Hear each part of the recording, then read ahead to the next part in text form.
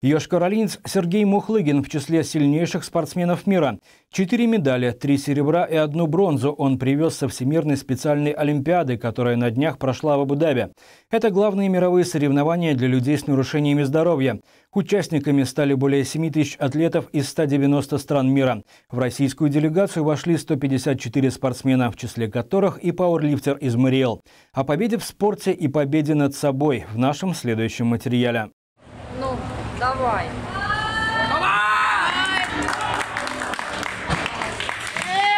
Каждый вид силового троеборья для южкоролинца Сергея Мухлыгина на этих мировых соревнованиях оказались победными. Каждый подход к штанге принес в копилку очередную медаль. В итоге сегодня на шее почти килограмм счастья. Это в первую очередь победа над самим собой. Победа 2018 года во Всероссийской специальной Олимпиаде дала возможность Сергею представить Мариэл на Всемирных играх специальной Олимпиады в Абу-Даби.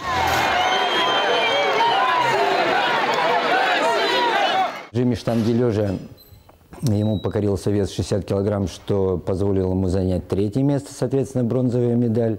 А, вот в третьем упражнении в тяге мы активно боролись за золотую медаль, но уступили спортсмену из Индии, э, и его результат 150 килограмм и также серебряная медаль. Ну и самая главная медаль – это сумма троеборья, также серебро.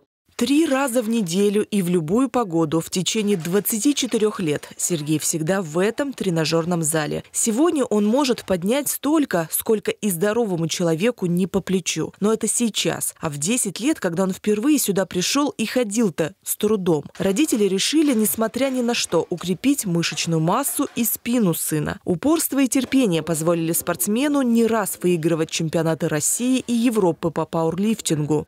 Это результат огромного труда на протяжении десятков лет. И э, мы стали свидетелями и участниками э, просто грандиозного мероприятия. Это сравнимо с, с теми Олимпийскими играми, которые мы всегда видим раз в четыре года. И Всемирные игры среди людей с интеллектуальными отклонениями, они также проводятся раз в 4 года. Сергей глухонемой, общается с тренером лишь жестами и мимикой, но и они позволили выработать специальную технологию тренировок. Сегодня он поднимает в два с половиной раза больше своего веса. Сначала он не мог поднимать даже гриф от штанги. Вот. В результате мы увлеклись этим видом спорта, 24 года непрерывных занятий – Первый раз в 2009 году здесь э, были российские соревнования, э, где он занял, где он стал чемпионом России. В 2010 году нас включили в состав сборной России. В 2010 году мы поехали в Варшаву, в Польшу. И неожиданно для всех там Сергей стал чемпионом Европы. Он физически стал крепче, он э, даже в психологическом плане стал как, правильным каким-то.